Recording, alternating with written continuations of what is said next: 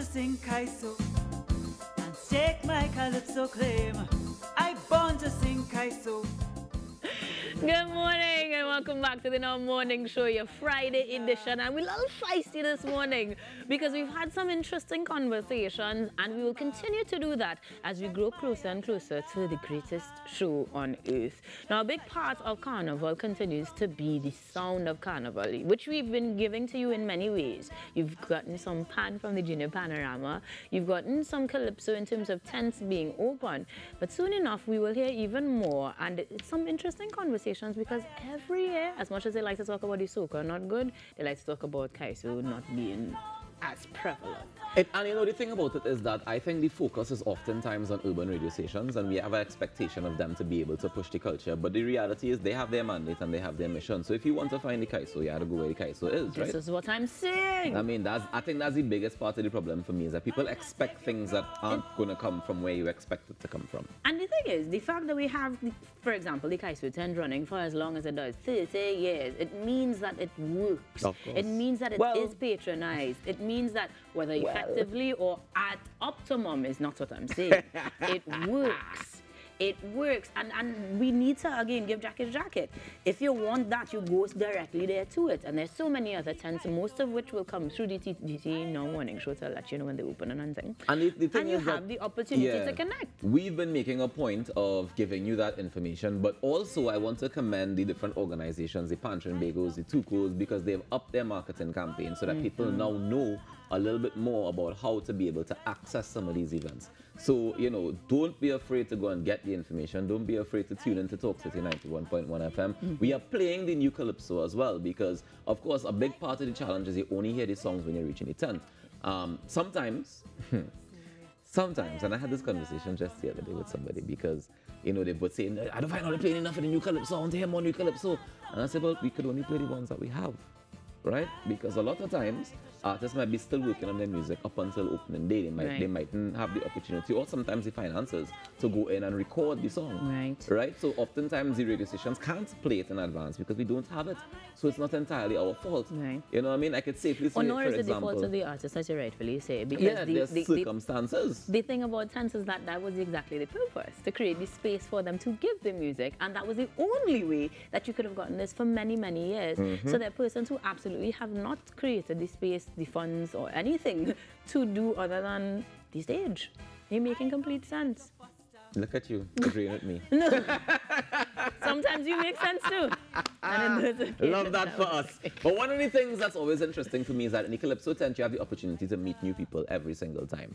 As in, you get to meet, you can meet a new Calypsonian for right. the very first time. You can meet somebody who might have been doing music for a long time and you just didn't know that they were able to do this. And a lot of people have been testing the waters and seeing how they can be a part of the Calypso industry as well. And this morning, we're actually going to feature one of them on the show. Now, I know she's been involved in music for quite some time, and you may remember her, you may not remember her. Uh, you would have met her as a soca artist. She was working with a band called Homefront back in the day, but now she has a new sobriquet, which is Fire Tender, mm, and mm. she is uh, a part of the Calypso Queen competition.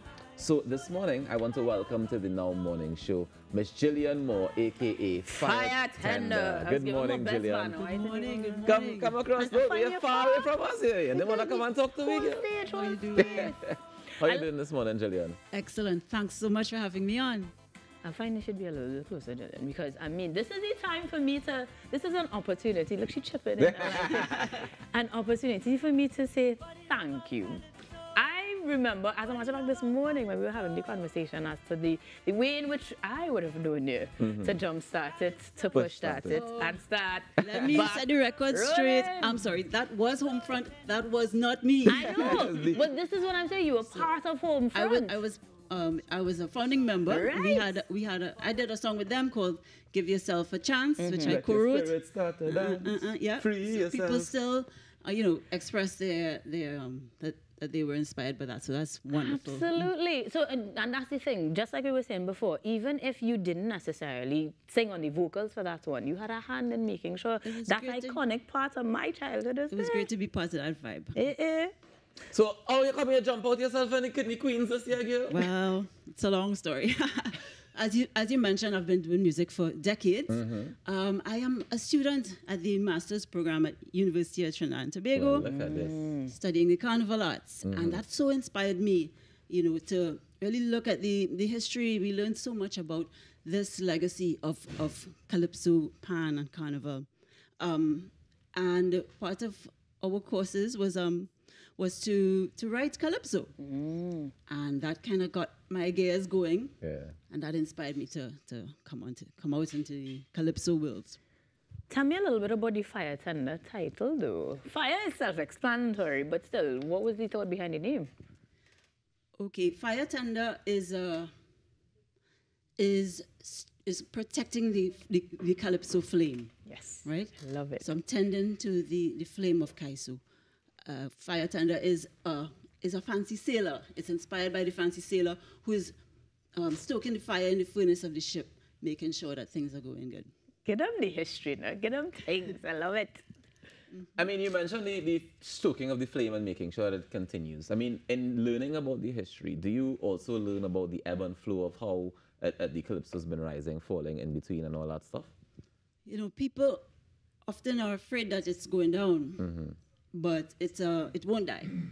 You know, people risk their lives, lost their lives to make sure that the carnival goes forward. And and no matter where carnival goes in the world and all its um, manifestations, when it's you know this remains the root of calypso as we know it, and it is up to us to make sure that it endures. All right. Well, um, can you do us a favor and give us a little taste of what's to come in the Queen's Oh, I would love to. I, I just got to mention, I'm part of the Queens. I'm also in the Calypso Revue this year. Eh, eh. And uh, I mean, this year it's a tribute to the Baron. He's part of the tent, Nice. along with Sugar Aloes, Trinidad Rio. So many greats. It's such an honor. And, uh, you know, to be part of the Queens as well. Some of our participants in the revue, Lisa Roberts and Singing Sonia, are also in, In the, the Queens. competition. Right, right, Nice. right. It's Stiff interesting. You're studying. You're studying the history of calypso and carnival, and now you're part of that history and that legacy by being a part of the calypso revue as well. Such an honor. Such an honor indeed. Gillian, let me go.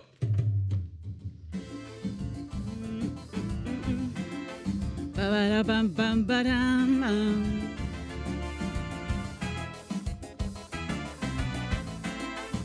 La day, la da doy,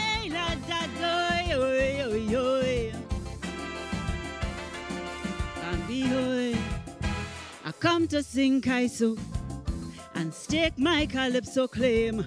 I born to sing Kaiso, so learn my calypso name. I'm the fire tender, a culture defender, with songs you'll remember. So check my agenda. Just like Chalky, I'll spring from the root. Like pretender, I'll sing with the truth. Just like Kitschy, I'll swing to the beat. They go say, fire tender, coming sweet. So I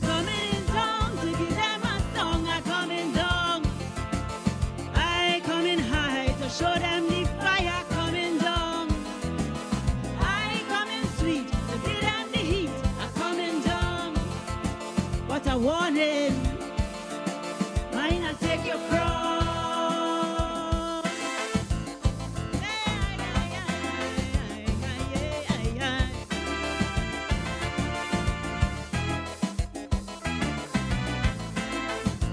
Love of Calypso.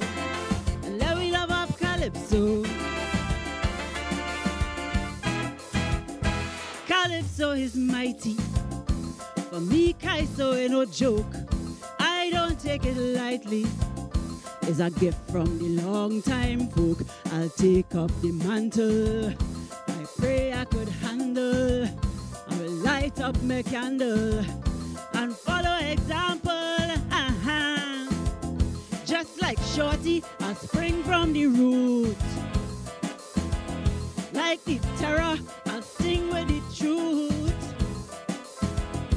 Like the birdie, always hit the spot. They go say, fire tender, coming hot. So I come in song to get